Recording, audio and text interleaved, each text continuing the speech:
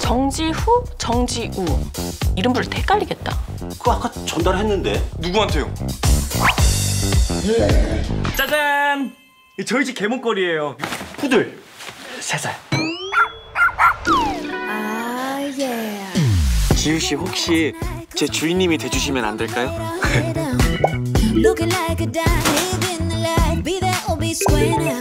사람 좋아요, 싫어요? 귀여워요. Shining so bright. 정 대리님이 원하시는 그런 거 솔직히 잘 몰라요.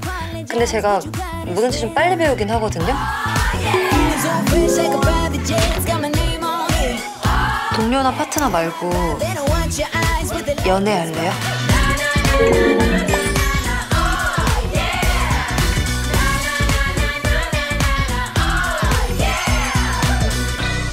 너무 예뻐요, 지우 씨. 그럼 밟아드릴까요?